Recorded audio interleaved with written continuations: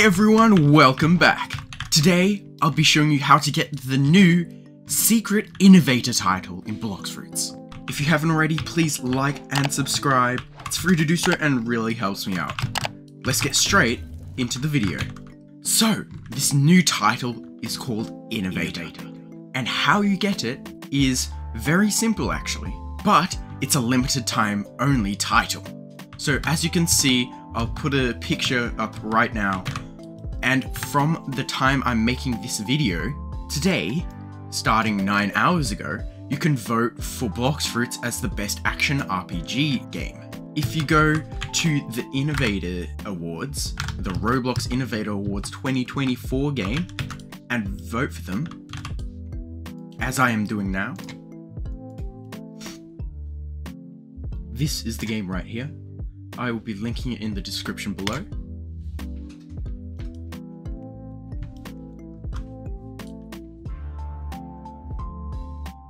So as you can see when you join, it shows you where you need to go. Just doesn't really matter about anything else. Now when we come up here, you'll have to go and find Blox Fruits, which is right here. You click on that and you vote yes.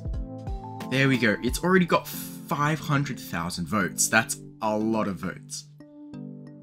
Now, if you miss out on doing it today, don't worry because in another 7 days you can vote for Blox Fruits again as the best fighting game.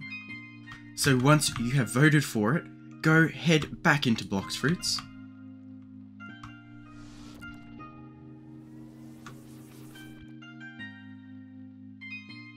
Now, when we're in here, you can go over to the title guy, which is in the second or third Sea, which is Axior over here, the title specialist.